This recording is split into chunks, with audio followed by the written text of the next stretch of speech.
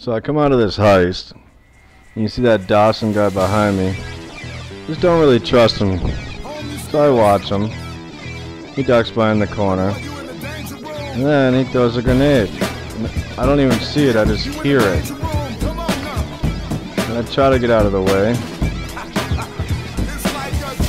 But, of course, I die. He doesn't realize that I'm on an undercover character and I'm the leader of the crew. So I punch him for his punishment, no big deal. I was willing to drop it at that point. Then, he comes and punches me. And then he doesn't want to quit, and then he ends up killing me. Okay, let's get it on.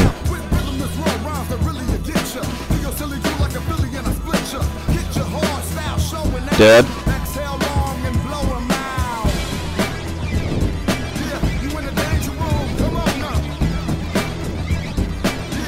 Dead.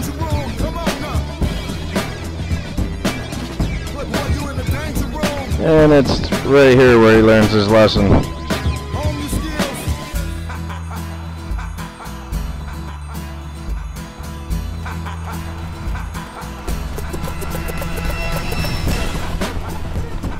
Thanks for watching. Please subscribe. Leave a like.